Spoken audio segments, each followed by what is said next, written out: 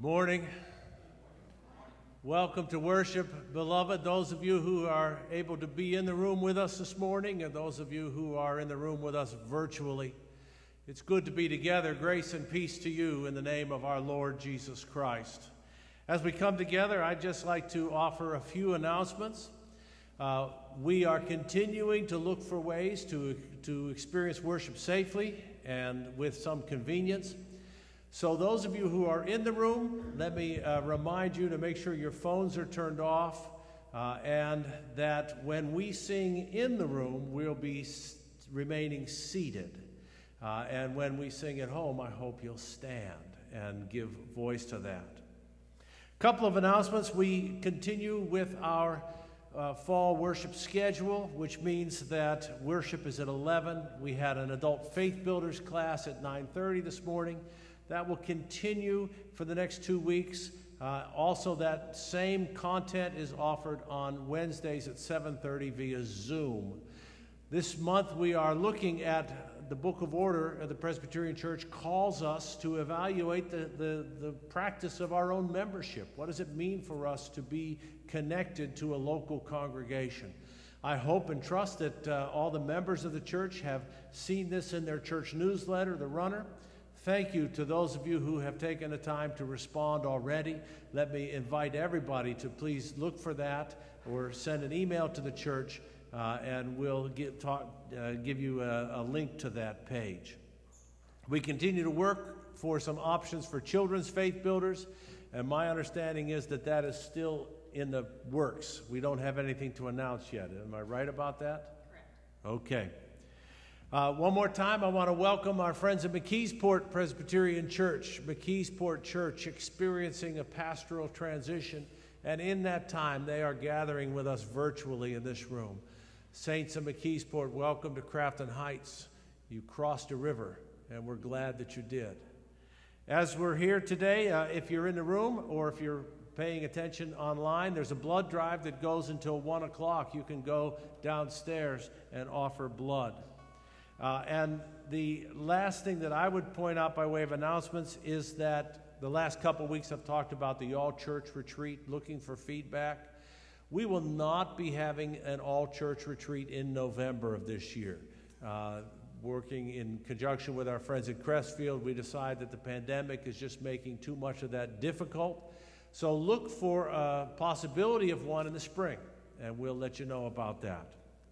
Having said all of that, I would invite those of you into the room to stand as Erlina May leads us in our call to worship.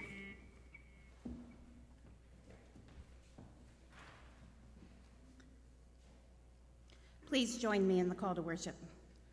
The foolish say, There is no God. We are alone, on our own. We gather to declare the glory of God in our lives. The foolish say, It is your life. You are accountable to no one. We gather, strengthened by the Spirit, trusting that Christ dwells in our hearts. The foolish say, Everything I have is mine. I owe nothing to anyone. We gather to praise the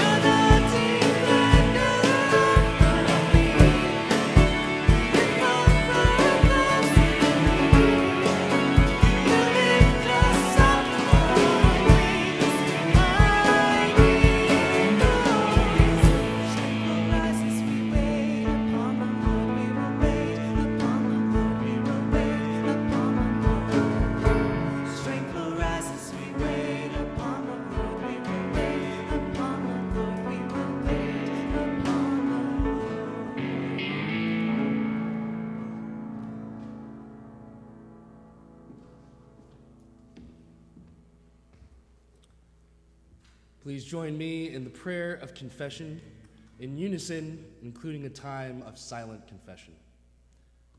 You have given us a world of beauty, and we have spoiled it. A world to feed us, and so many go hungry. A world of riches, and we are unwilling to share. A world to care for, and we think only of ourselves.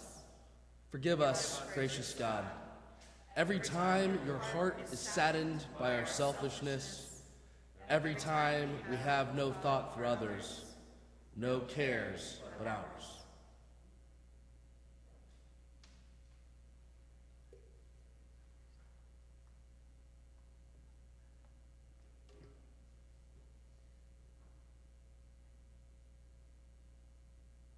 And continuing, saying, Enable us to see this world as a gift from you that can be shared, and all who live on it as our neighbors. We ask this that your name may be glorified through the beauty of this world and the service of our lives. Amen. Assurance of pardon. In the life, death, and resurrection of Jesus, we are assured that there is no sin so terrible that God cannot forgive. No hurt so terrible that God cannot heal. God accepts, God forgives, and God sets free. Receive the forgiving love of God. Thanks be to God.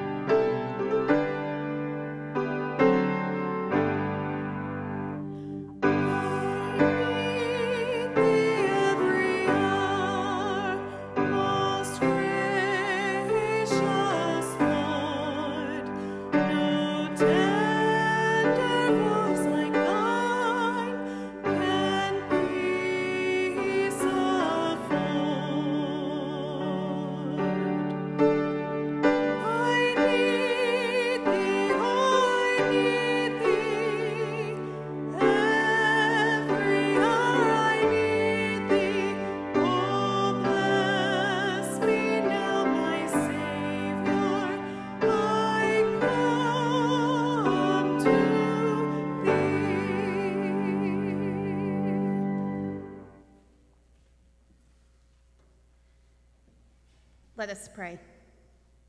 O God, the three in one, you draw us into your community of love with people across the ages and around the world. By the same Spirit that binds us together, speak to us, that what we read and ponder may enliven us and stretch us to trust and follow you. Through Christ our Savior. Amen. The first scripture reading today comes to us from James chapter 5, verses 1 through 6. Come now, you rich people, weep and wail for the miseries that are coming to you. Your riches have rotted, and your clothes are moth eaten. Your gold and silver have rusted, and their rust will be evidence against you, and it will eat your flesh like fire. You have laid up treasure for the last days. Listen, the wages of the laborers who mowed your fields which you kept back by fraud, cry out, and the cries of the harvesters have reached the ears of the Lord of hosts. You have lived on the earth in luxury and in pleasure. You have fattened your hearts in a day of slaughter. You have condemned and murdered the righteous one who does not resist you. This is the word of the Lord.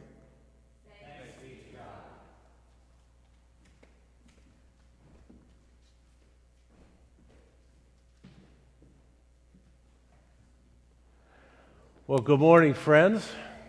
It's time for the children's message, and I have some friends in the room. I'm glad to see the Veltmans here today and Cam. It's good to be together, and I'm especially also glad that my friend Mr. Tim is in the room today, because I want to talk about something very kind that Mr. Tim Propelka did for me a couple of years ago, probably eight or nine years ago.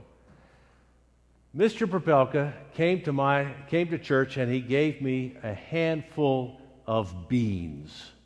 Little white beans. And he said, "I know you like to garden. You talk about your garden a lot." And you know that I do. And he said, "If you grow these, these will be delicious beans.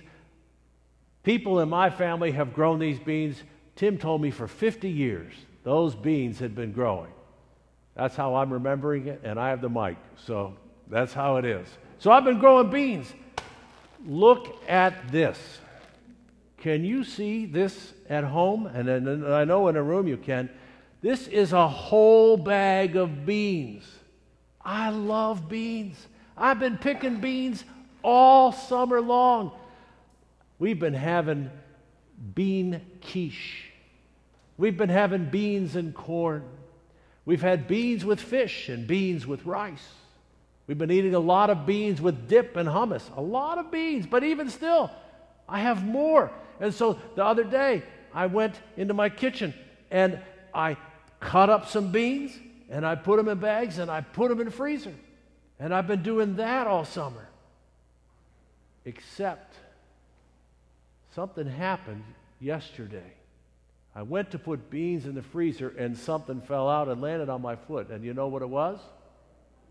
Beans. It was a bag of beans. And I looked at the bag of beans, and you know what it said? 2017. 2017, I have beans from three years ago. So I looked in my freezer. I also have beans from 2018 in my freezer. I didn't grow beans last year, that was a breather for me. Now I have beans from 2020, and I picked all of these beans today, yesterday. This many beans yesterday. I have too many beans. The fact that I have beans in my freezer from three years ago means that I'm growing more beans than Sharon and I can eat. And that's a problem. And I thought it would not be right for me to put these beans in my freezer when I already have three year old beans in there. The Bible passage that Miss Erlina just read to us talks about people who have more than they need. They have more than they can use. They have more clothes than they can wear, more food than they can eat, more money than they can spend. And Jesus invites us when we find ourselves in that situation. What's the thing that we do? When we have more than we need, what do we do? We share. Thank you. We share. So, this is a public announcement to those of you who are in the room today. I am not taking any of these beans home. There are some baggies down in the kitchen. If you want beans, take these home because I'm not putting another bean in my freezer today. I have enough beans. I hope you have enough of the things that are important to you. And where you have more than you need, I hope you'll find a way to share. I'm glad we can be together. Thanks for being in the room today. Thanks for watching us on the screen. Let's pray together. Lord, we thank you that you are giving to us so many things. We thank you for the privilege of this time together. And we ask that you would help us to learn more and more what it means to share beans and money and the other important things of our lives. In Jesus' name we pray. Amen.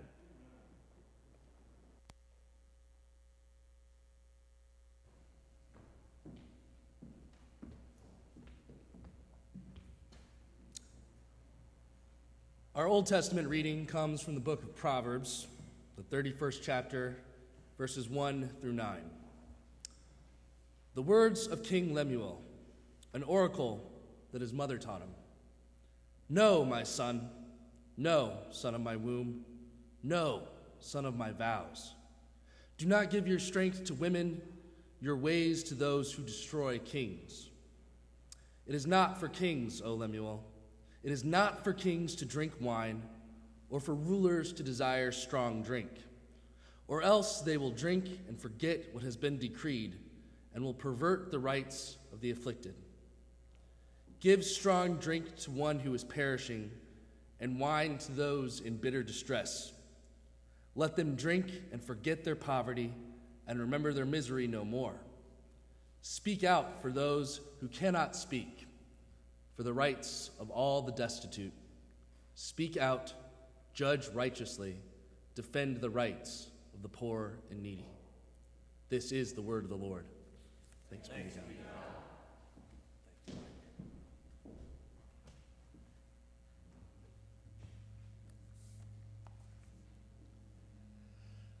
I preached my first sermon when I was 16 years old. I've been an ordained pastor for 30 years now. And today I'm breaking new ground in preaching from Proverbs chapter 31.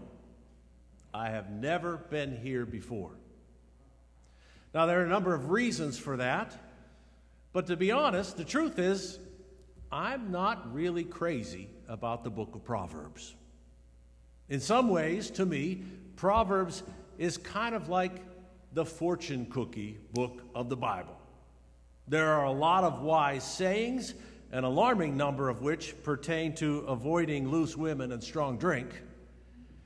Most of the book is attributed to a man who is the very personification of wisdom, King Solomon of Jerusalem. But my main reaction to Proverbs has been, well, meh.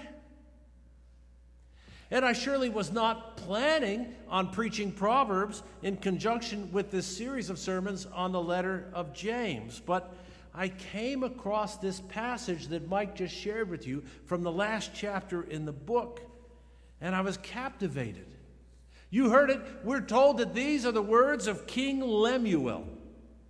All right? Sounds good to me. I, I, I don't know who King Lemuel was, but it sounds like a pretty good Bible name, doesn't it? You got, you got Ahaz, Hezekiah, Rehoboam, Solomon. Why not Lemuel? It seems to fit. Except that neither Israel nor Judah ever had a king named Lemuel. Now, there's some evidence that an Arabian people called the Massa were led by someone named Lemuel, but the Massa were descendants of Ishmael, which meant that by Old Testament standards anyway, they didn't play for our team. And we're not really sure who Lemuel is, but at the end of the day, it doesn't really matter because the text that we have was written by him. It says not by Lemuel, but by his mother, a woman whose name has been lost to history. All right, well, well why does that matter? Well, because it was very rare for a woman to have an authoritative verse in the culture in which the book of Proverbs was compiled. But here, this unnamed woman gets essentially a byline. Now, there was one exception to the women should be seen and not heard policy, and that was when a queen mother was given a voice during a period of transition or disruption. For instance, if the reigning king were to die and his son, the child, was not quite old enough to rule, then the child's mother would be granted permission to help inform policy as that child aged. Examples of this in several Middle Eastern cultures, particularly Egyptian, from this time period. The queen mother was expected, invited to make some comments of a didactic nature and then that became a formal charge to the young king.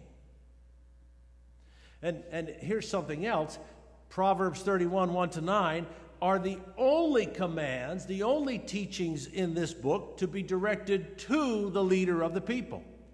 Everything else in the book of Proverbs is allegedly from the leader to the people. But this is a charge to the powerful king. So here's the deal.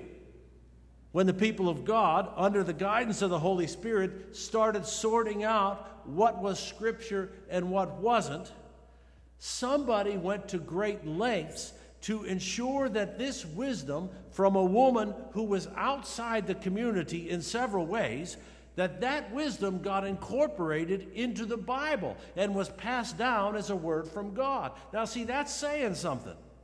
It's more than a little surprising to hear Lemuel's mother's voice as the word of the Lord. Thanks be to God. But here we are, listening to it. Well, what does it say? You heard it. Essentially, this charge from Lemuel's mother indicates that those who have more power, authority, and resources than others are charged to yield that privilege to those who possess less power, authority, or wealth.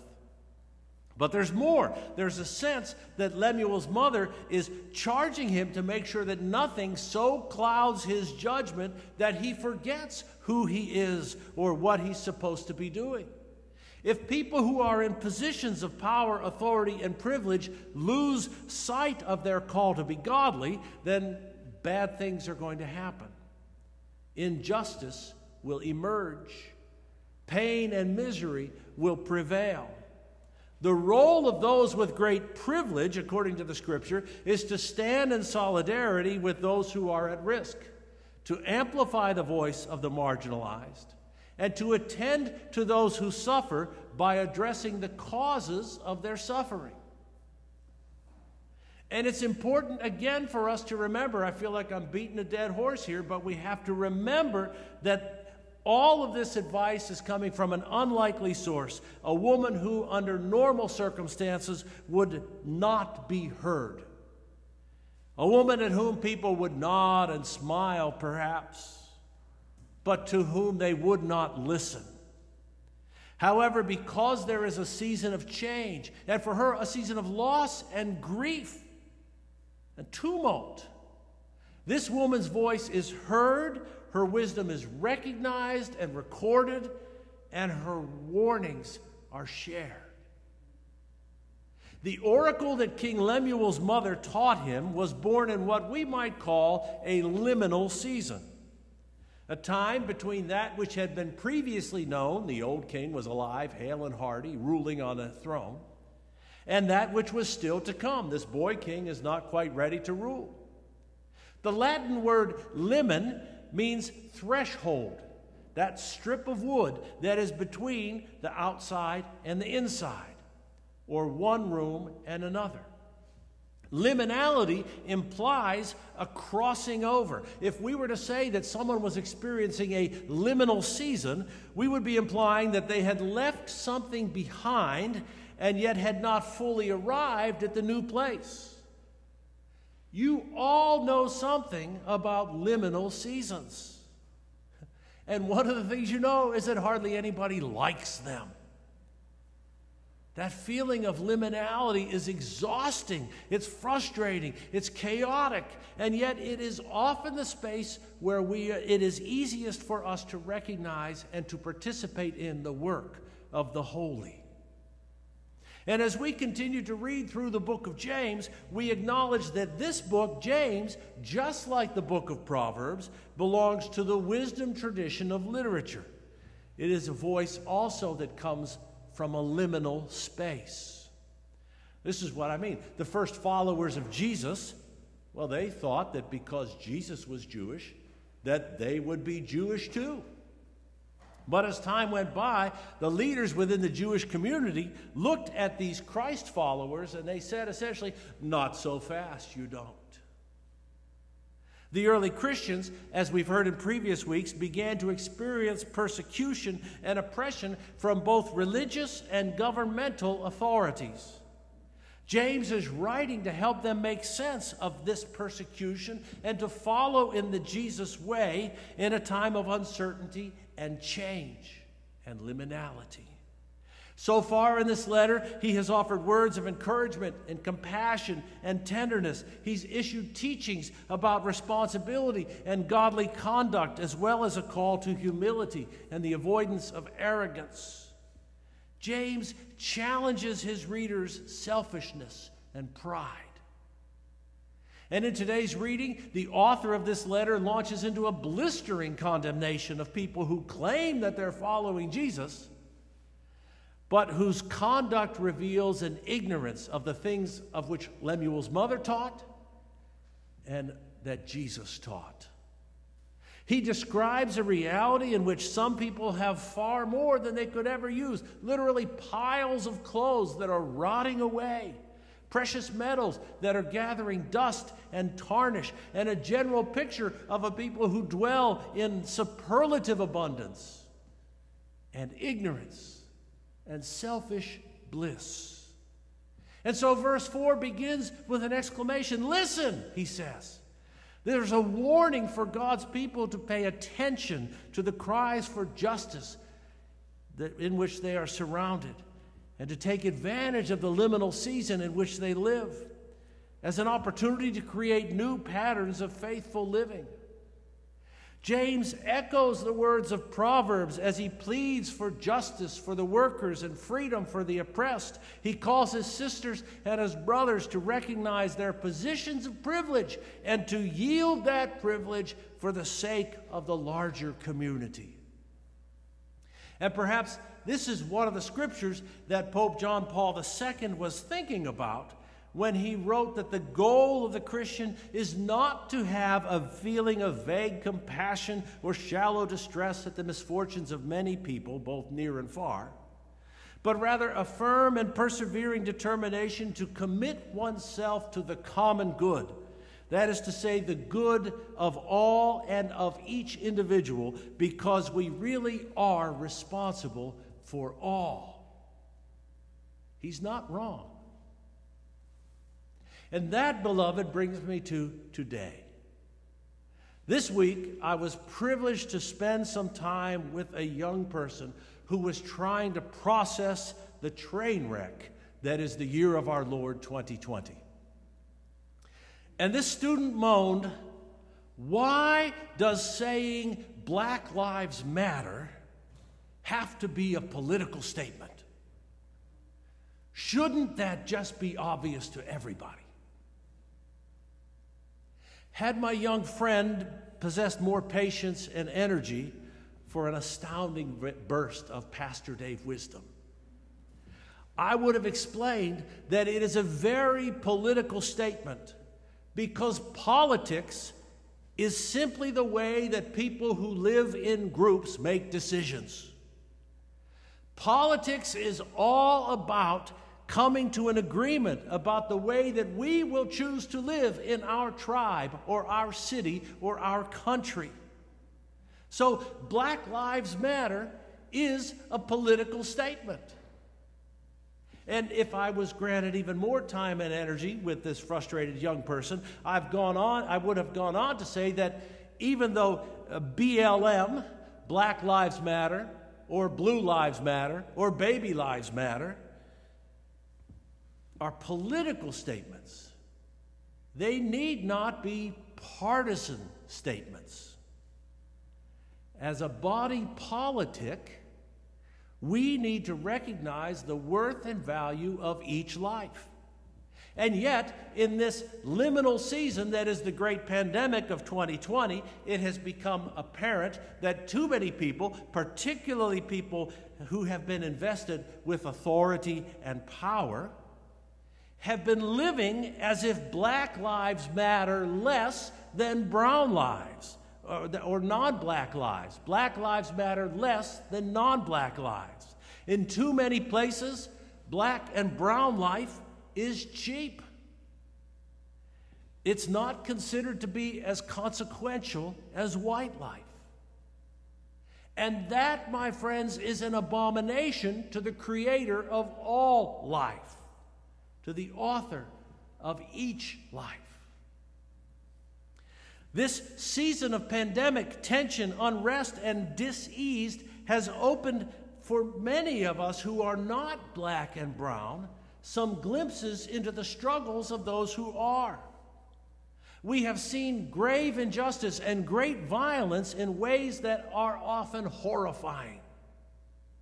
And some of what we have seen and sensed has provoked even greater unrest, disorder, disunity, and pain. Friends, this is a liminal season. Nobody wants to be where we are right now. We want to move, We want to get out of this place. But how? Where are we going to go? The temptation to which many of my friends have given voice is simple take me back. Can't we just go back to the good old days? Let's return to law and order, common decency, respect. Let's go back there. Many of the people that I love dearly believe that our call is to return our nation, our culture, our police, our politics to some former glory, some former identity. And when I ask them, okay, how far back should we go? To the days when women were prohibited from voting? to the years when entire communities were redlined, making it impossible for people of color to purchase their own homes, to the era of Jim Crow, where non whites were expected to know their place, or to the time, which happens to be today, when 30 states in the United States of America have no law against involuntary conversion therapy a horrific attempt to use pseudoscientific practices to change a person's gender identity or sexual orientation. How far back are we going to go? If I ask the question that way, I almost always receive from my friend a look of shock and panic, and they almost always say, No, geez, Dave, no, that's not what I'm saying. But it's just so hard now. Everything is up for grabs. It's it's hard. I have to think through and decide about everything. It's new. I just want it to be normal. I'm worn out, Dave. I'm exhausted. Yes. Yes, you are. And so am I. And so are the women and the people of color and the LGBTQ people whom God loves. It's not right. It's not fair. It's not just to expect that my neighbor will want to retreat to my normal simply because I had grown comfortable with my neighbor's oppression or dis ease. The call of the gospel is to enter into this liminal space and to allow the new thing that Christ is doing to unfold and to participate in that new thing to the end that the love and peace and grace and justice and mercy of Jesus will extend more deeply into the lives of the people with whom I share this life and this planet. Spiritual director and author Richard Rohr puts it this way. He writes, To get out of this unending cycle, we have to allow ourselves to be drawn into sacred space, into liminality. All transformation takes place here. We have to allow ourselves to be drawn out of business as usual and remain patiently on the threshold where we are betwixt and between the familiar and the completely unknown. There alone is our old world left behind while we are not yet sure of the new existence. It is the realm where God can best get at us because our false certitudes are finally out of the way. This is the sacred space where the old world is able, able to fall apart and a bigger world is revealed. If we don't encounter liminal space in our lives, we start idealizing normalcy. The threshold is God's waiting room. Here we are taught openness and patience as we come to anticipate an appointment with the divine doctor. Some native peoples call liminal space crazy time. I believe that the unique and necessary function of religion is to lead us into this crazy liminal time. But instead, religion has become largely a confirmation of the status quo and business as usual. Religion should lead us into sacred space where deconstruction of the old normal can occur. Much of my criticism of religion comes about when I see it not only affirming the system of normalcy, but teaching people how to live there comfortably. Cheap religion teaches us how to live contentedly in a sick world. Beloved, this has nothing to do with partisanship, and yet it has everything to do with politics. The ways that we decide we are going to live together. So, can we choose to follow the gospel and to learn to listen and to learn and to act in love? Can we agree that we are going to treasure the lives that have been too often devalued? Can we work to construct a society wherein the intentions of the Creator are evident in the ways that we treat each other and the rest of the creation? Thanks be to God who is merciful and just, even as we struggle to find meaning in these confusing and liminal times. Amen.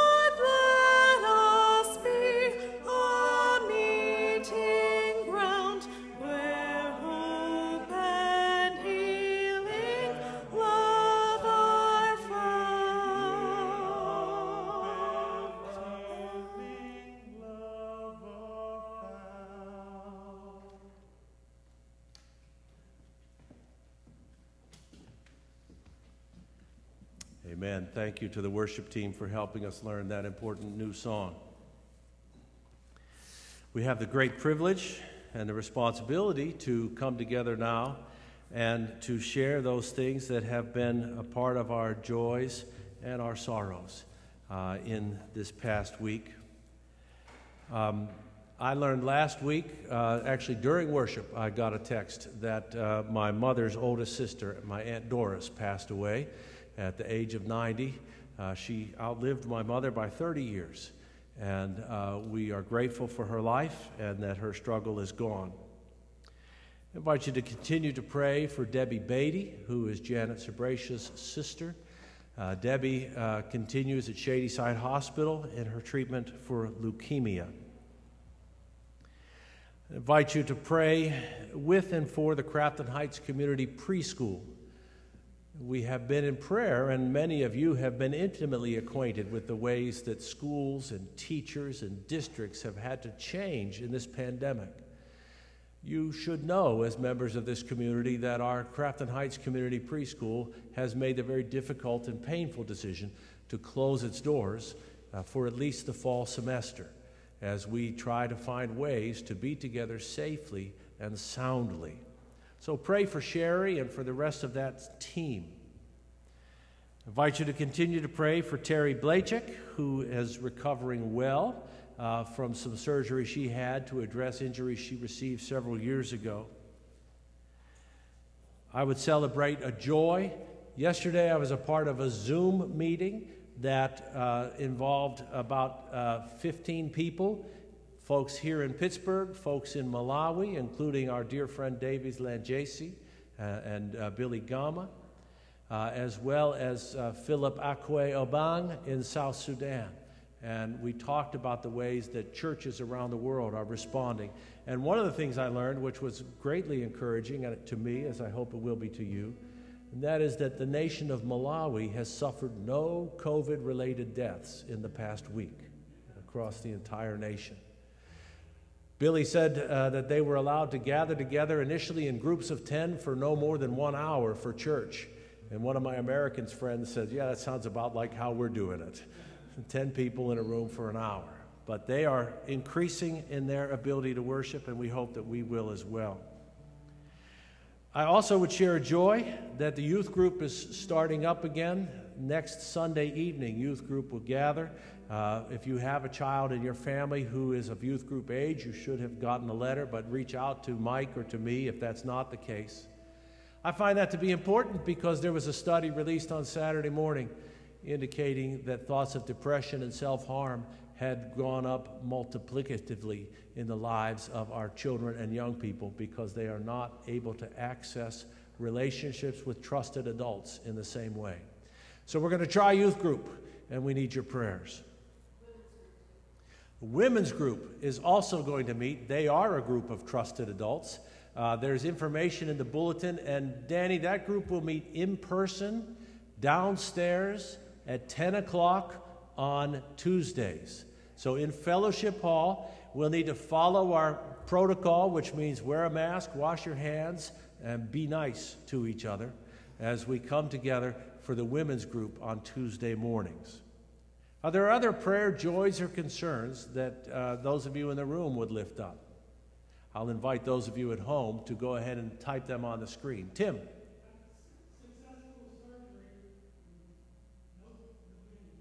Look at Tim, no pins in his hand. He's using that well. You want some bean seeds to plant in your garden, Tim? Other things today. Let's continue. Lord, we give you thanks for the ways that you have been present with us and for us. Thank you for the privilege of gathering together in whatever space has seemed right and appropriate and available to us today, for the gift of technology, which so far has not failed us, for the gift of community, which has never let us down, for your promise of love, which sustains us. We pray in particular that you would guide us and guard us as we seek to live in this time of liminality.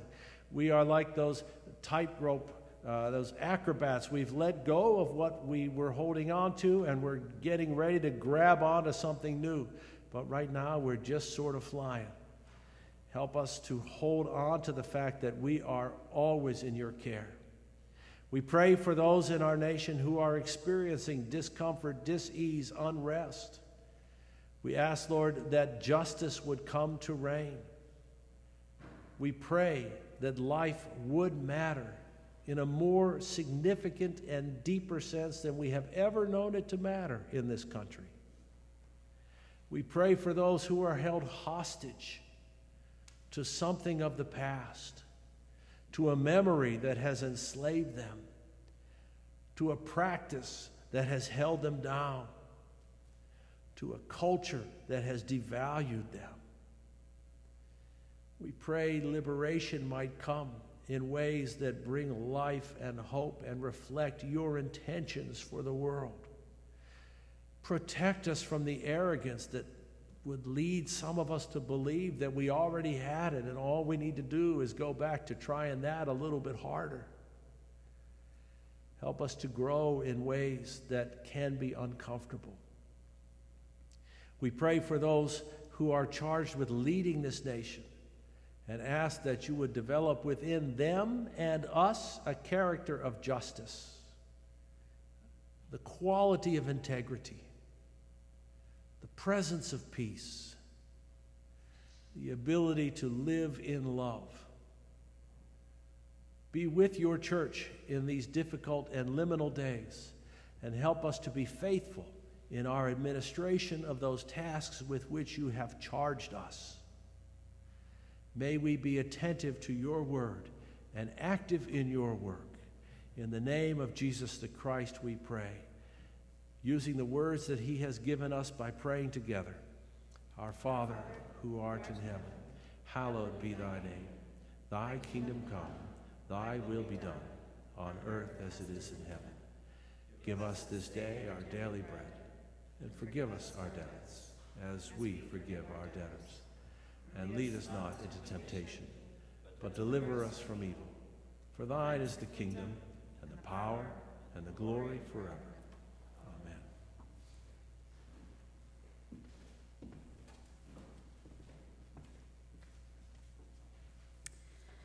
There are many signs we claim for our faith, but ultimately it is our active love that reveals who we worship. As we give a portion of our finances, let us commit to give the whole of ourselves. I invite you to give of your talents and material possessions to the church with the expectation that they will be used to further God's dream for our world. Please commit yourself and give as you're able. For those of you in the room this morning, please note that there are plates in the rear of the sanctuary in which to place your gifts. Those of you online will see instructions on your screen.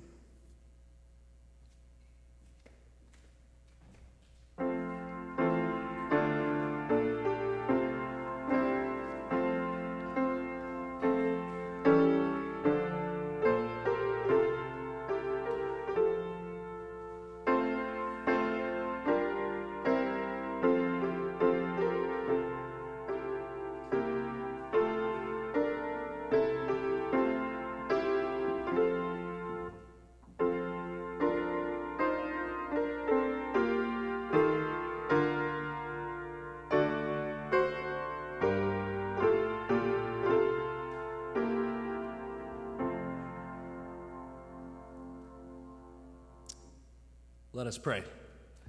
God of salvation, we seek to be children of your heavenly kingdom. Yet our self deceiving ways cause us to believe that we will be more generous givers once we have satisfied our own personal material desires. Change our thinking. Help us to be faithful disciples who recognize that everything we have in life is a gift from you. Inspire us to share our resources as a response to your unconditional love. Amen.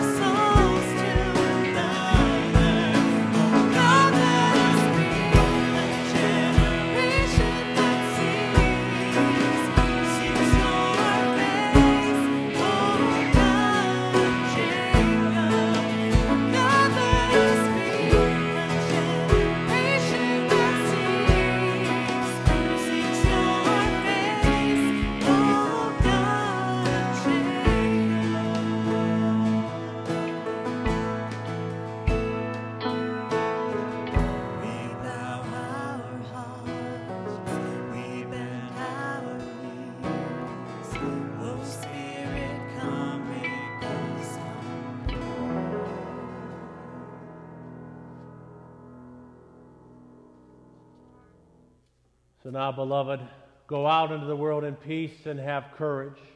Hold on to what is good and return to no one evil for evil. Strengthen the faint hearted and support the weak. Help the suffering and honor all people. Love and serve the Lord, rejoicing in the power and the presence of the Holy Spirit. And may the grace of our Lord Jesus Christ and the love of God the Father and the fellowship of the Holy Spirit be with you now and forever. And let the whole church say, Amen. Amen.